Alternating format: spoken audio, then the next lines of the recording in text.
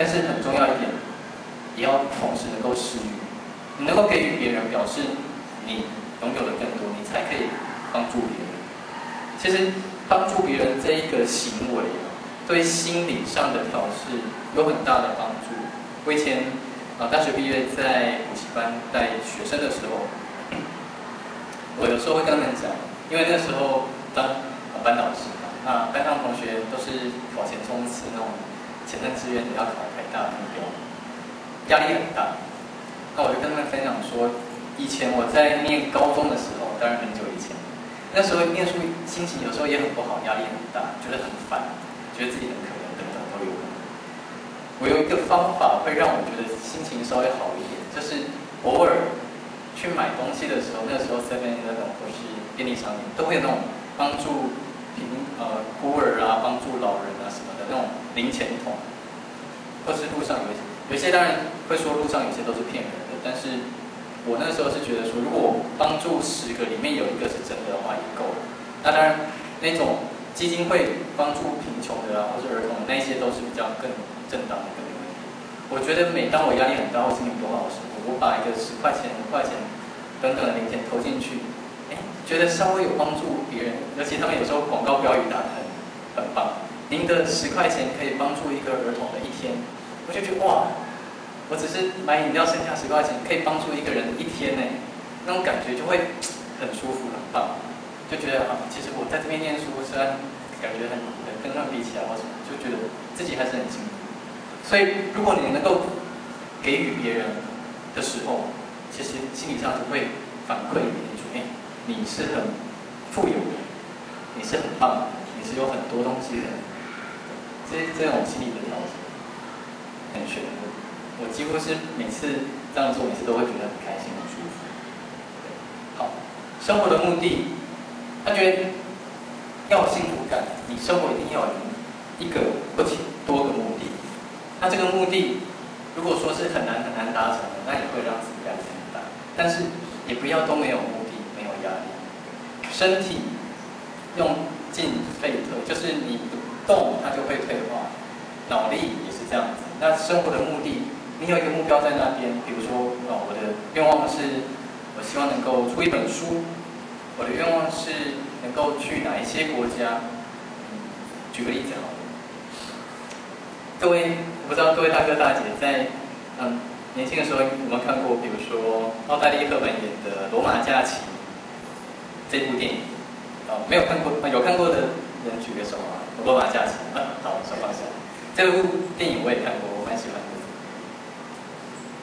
如果说各位现在哎有在出国旅游啊，干嘛的，你也可以把《罗马假期》那个场景，澳大利亚那个时候拍片的那个国家或那个场景。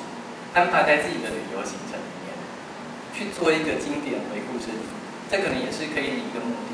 你也可以在那个真理之口那个教堂那边，哎，手放进去拍张照，跟那个男女主角一样，或者是在那个喷泉那边拍一张照，这也是一种生活的目的。或者是希望把自己从小到大到现在的一些相簿、相片挑了几张整理出来，整理出自己一。个人生的相簿出来，这也可以是一个目的，或者是你的心愿是希望能够帮助其他人去担任志工，做一场么样的活动，去参加一个活动当志工，也是一个目的。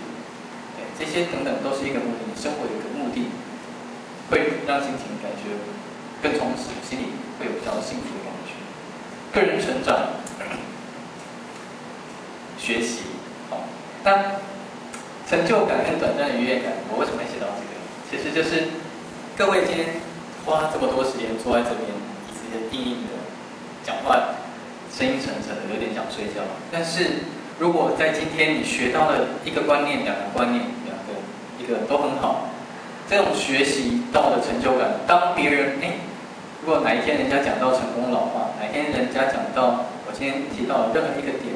你知道或你听过，甚至你可以跟别人讲说啊，六十五岁，其实那是以前德国俾斯麦宰相，那是世界大战的时候就定，现在早就已经过时了。为什么？等等，你可以跟他讲出来，我人家会说哇，你怎么这么厉害？我这一些我都不知道，或等等的那种成就感，学习到东西的成就感，会比你比如说今天坐在电视好看一个综艺节目，哈哈哈笑笑笑笑的时候很快乐，你会觉得很开心，过了没。这种就是短暂的这种愉悦感。那学习的成就感可能需要累积，可能需要一定的时间，然后在过程中不一定这么的欢乐。但是当你觉得自己哪一点想通了，有点突破了，学习到一点东西了，那种成就感可以持续的时间，比哈哈哈笑过听的笑话过去。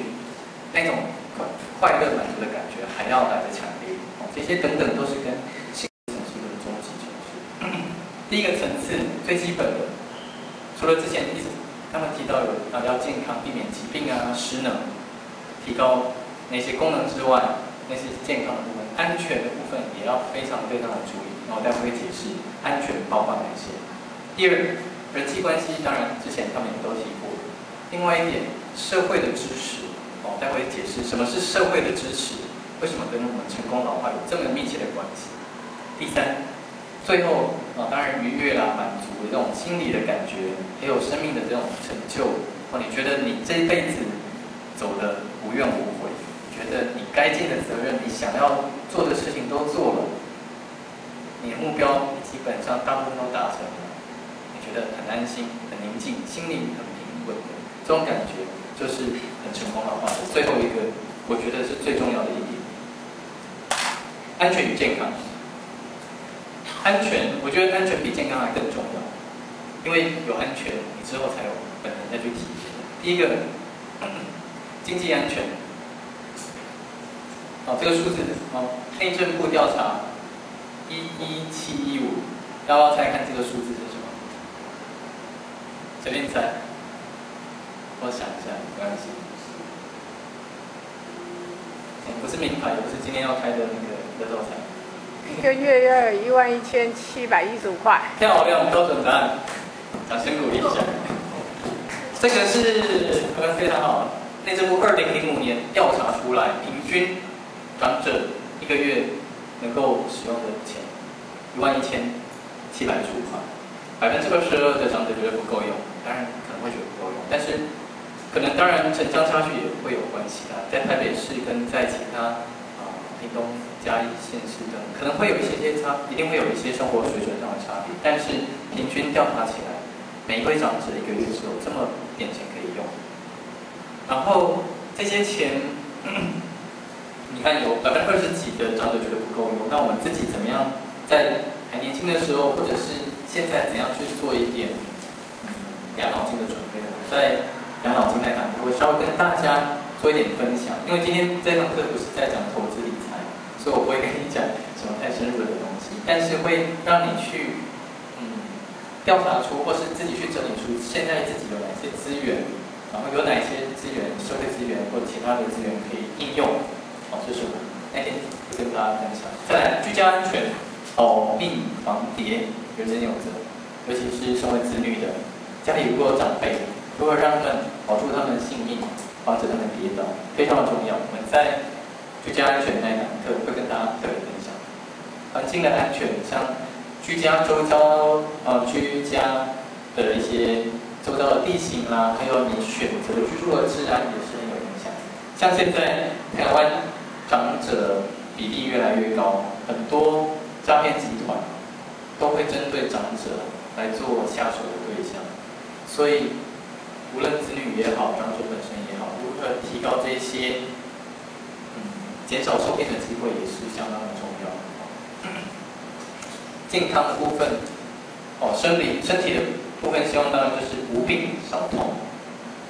心理的部分，调试无忧。